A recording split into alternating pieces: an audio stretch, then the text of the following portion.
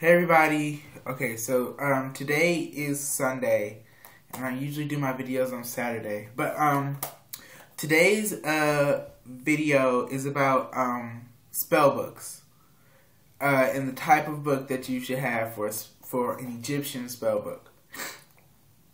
Now, Egyptian uh spells tend to be really long. If you've ever read anything um that if you've ever read any of the uh coffin texts or text of the dead, they're like really long. They're like Bible scriptures. They take up three, four pages. Um, so this is this is a book that I use, and this book isn't for my um, Egyptian magic, but it's more for my hoodoo studies, the herbal correspondences and the oils and the um, candle magic that's and the saints and the um, correspondences to the saints and the deities of ancient Egypt and you know, yeah, you might find some Egyptian concepts in here because those are connected back to hoodoo in some way. But um, this is not the Egyptian book. This this is this is too small. This is the Egyptian book, and it's not even done. I'm honestly slacking and keeping it up because I'm working on three spell books at a time. But um this is it. And the reason for it being so big is because sometimes these um, utterances, as they're known, to, as they're said, um, because you don't really say them out loud, you utter them. You, you mumble a little bit when you say them. Um, but, you know, it's said under the breath, and, you know, it's kind of low, and you don't really move your mouth too much, and it's a little talking it's it's not really a talking as it's uttering. You're uttering the words. You don't want to. You don't want people to know what you're saying. But um, yeah, it's not big and it's really not too full of utterances. Um, there might be a couple of utterances to invoke certain deities or certain aspect of deities, and I might have created my own utterances in here. Um, there might be a few from the coffin text, the um, sacred texts, which are usually wall texts from temples belonging to deities, and um, the uh, Book of the Dead. And the Book of the Dead, if you've ever read that or if you've ever heard of it, um, people kind of confuse it with like the um, the Mummy, that movie where the mummy like rises and there's this big book with Anubis on it and it's in black and gold Anubis's colors. That's not what it looks like. It's a scroll made out of paper. It's a scroll, not a book. Um, but it contains spells to get a spirit through the afterlife. And that's what I kind of love about the Egyptian magic is that there's sort of spells to get you through the afterlife as well as in the pre- in your living life. But yeah, and it's usually supposed to be. This one is very empty towards the back. I have things on here about spirits and aspects and I have utterances and callings and stuff, but I think it needs a little bit more work. It hasn't been kept up in a while, and I think I need to go add some stuff to it, and I'm about to actually. But when you're working with like the Egyptian book, Egyptian magic, you want a big book because what you're gonna find is that um, when you're speaking herbal correspondences and stuff, and people have been asking me about herbal correspondences for ancient Egyptian magic the thing is that since ancient Egyptian magic isn't as well kept as other types of magic, it's not as like it wasn't as publicly shared. Um, actually, it was publicly shared, but you know, it was very much destroyed when other countries invaded Egypt. Um, and people started selling Egyptian texts off to make extra money. It was just more of a hoarding thing. But um, there have been lots of parts of Egyptian magic lost and so when you think of her- herbal correspondences or anything, um, just think of what you would use, uh, what represents uh, something that you would use in that certain correspondences. So um, a lot of the correspondences I use are Wiccan and Hoodoo, speaking herbally, herbally speaking. Um, um, but speaking, when you want to put correspondences, herbal correspondences, um, oil com- uh, correspondences, um, oil recipes, incense recipes, um, candle dressings, carvings, words that you say, chants, prayers. You're going to want, well, chants and prayers are going to go in the big book because those are considered utterances. Those are speaking. But Incense, ingredients, stuff like that go in here. Symbols that you draw go in both of these books. Symbols that would be drawn like hieroglyphics or um, pictures that just mean something to you that you use during spells. Those will go in in both of these books. Um, uh, how a ritual is to be carried out would go in here because it is a part of the utterance. Um, but it has to be separated from the utterance in some way. So you should have a way of marking where the utterance begins, where the um, directions for how everything should be set up begins, and where that ends. And then you should have a marking for where the utterance begins and the marking begins. And um, I usually refer to spells as spells, but utterances are spells. They're verbal spells. And I, I think I've covered this before. But on the front of my book, you see I have the god Thoth. And the god Thoth is the god of wisdom and knowledge. And the ancient Egyptians believed that he was also a god of magic because the ancient Egyptians believed that um, Thoth gave them their language. And so all and most of the spells they did were either picture magic or uh, which is sympathetic magic, uh, sympathetic picture magic, or um, verbal magic, which was actually speaking their wishes and wants. They, their utterances. They would say their utterances, their spells. And so he was thought to be a god of magic because he gave them their language, which means that he gave them by by you know you need words to speak their utterances. So, um, I lost I lost the point of this, but what I'm trying to say is that Thoth gave me Thoth gave utterances, and so he's a god of magic. I don't even remember where I was going with this, but um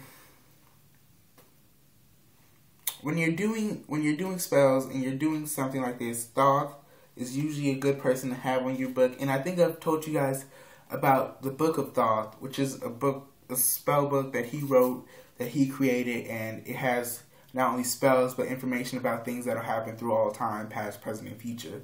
Um, but Thoth is also a guy that you put on books to keep them safe because and you wrap them in great spells, which usually means that you write spells on the inside to protect them.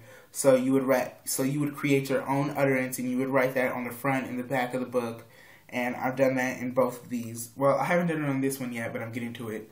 Um, another thing about this is that ancestors do play a big part in protecting your book. Um, this is not this is not a hoodoo belief, but this is more of an ancient Egyptian belief that you ask your ancestors to guide this book. I mean, to guide the book, to uh, protect this book and guide you uh, whenever you're using it to, to, let you know what should and shouldn't be used. Um, and you know, it's you're not really supposed to show what's on the inside of your book. I didn't really show too much, but I have a lot of empty pages in here. And I want to fill it up completely, and I want to add paper to it to the point where, you know, I can I can barely turn the pages, but at the rate I'm going, keeping three spell books, I have the third one somewhere. I don't even know if I'm going to be able to um, keep two, let alone. I mean, I don't even. I don't even know if I'm going to be able to keep one, let alone three. Um, but this book is my main book. I don't use it unless there's something really important. And whenever I get a really good spell, um, I sort of I write it in. I write it in this one speaking hoodoo wise, but if it's ancient Egyptian based, you know, it uses the Zep Tepi, and the Zep Tepi is another concept I will discuss. Um, the Zep Tepi, um, it will go in here. But what's in this book really is um, things that I connect from hoodoo back to ancient Egyptian magic, like the um, process of breathing life into something. There's actually a creator deity, and there are three creator deities. Um, but one of them that I know named Ptah, he made figures out of uh, clay, like making dolls, making hoodoo dolls. He made figures out of clay and then he breathed life into them. Another hoodoo connections. So what I'm really doing when I'm making these dolls is I'm assuming the form of Ptah. And when you assume God form, it's usually good to have something to connect them to, like a Zep Tepi. Like, um, and Zep Tepi means first time and it's a myth in ancient Egyptian world. Um, and it's usually good to have something like that to connect the deity to, because in sense that means that you're connecting to the deity on a higher level, on a more spiritual level, on a way of understanding what the deity was doing. And so, um, when I do connect with deities like that, you know, the experiences get written in here. The the way I connected myself get, to them gets written in here because it's the Egyptian spell book. Thoth on it. Thoth is my god. I was born under his astrological symbol, so he's my god. And um, you have to think about like you have to think which you have to think which spell book you want to put this in if you're going to do Egyptian magic and some other type of magic, or if you're just going to mix types of magic together. Now, one thing I don't suggest is mixing altars because I, Cash talks about it too. It's really it's really disrespectful to uh, the gods. It's like it's like if somebody like just moved into your home, like you like your landlord forced somebody to move into your home with you. That's it's like really rude like that. It's just like I didn't even I didn't invite them. They weren't allowed to come. They just moved in. You just decided that they were going to come in and share everything that's mine. And I'd like to think that's how they sometimes feel. Now, I like to think that that's how they sometimes feel, but um, I was taking notes over my books today, and I was reviewing stuff. And I'm trying to get ready for class uh, classes, for workshops, and teaching people, and people want to know this and that. And I was reviewing my book. My I was reviewing my books. I'm sorry, I can't talk today. I was reviewing my books and I was taking notes and taking notes, and I came across the section talking about the creator god, the um, one of the creator gods of Ennead, and Ennead is the nine deities most worshipped uh, in the pantheon. Consists of Isis, Geb. You know, we'll talk about those guys too: Isis, Geb, Osiris, Osiris, Horus, um, Nut, Sekhmet, Tefnut, Ra. Atum, and Hathor and Nefertiti. And I think I'm missing one, but we'll talk about those guys later. Um, but what the uh, book said to me, what the book said, and what I took note in, it was what is that in the creation of man, Ra cried tears of joy, but in Ptah's creating man, there was no emotion to it, which means that the gods the God cried tears of joy, meaning that He made us with joy in His heart. But the tears are also uh, representative of His blindness, meaning that we can't truly understand or see what the gods see. Um, this is a very deep concept. You would really have to read through the story, and I might do I might do a part two to this video just so I could talk about that.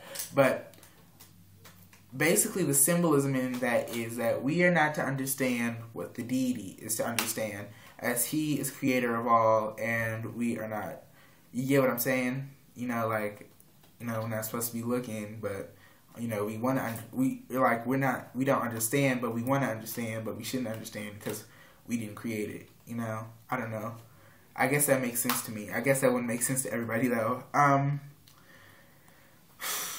we will talk and um, I guess this is just sort of the end of the video. Um, it was sort of rambly and didn't really have a point, but you, I hope you guys see what I'm saying with spell books. This one, Egyptian magic. This one, any other type of magic. Just it's not big enough because the utterances are pages long, like pages and pages of words. Like an invocation could be three paragraphs, and that's just the first half of the invocation. You still have to do the reply and the um, and then there's the close, which it could be also, and both of those could each be three paragraphs, which means you took you've taken up either two whole pages just writing one utterance or just copying one utterance. And in Egyptian spell work, it's it's okay to use old spells like the um, utterances and the coffin text just as long as you understand what the coffin texts do. Some of them are for shape shifting, and um, some of them speak of myth. And Egyptians used all of the utterances, whether they were stories or actual spells, to um in magic because they believed that they all had the same ability to uh, grant power by you by reading them by using the words. So um, that's all for this video. It was sort of rambly, sort of long. I hope it taught something, and uh, bye.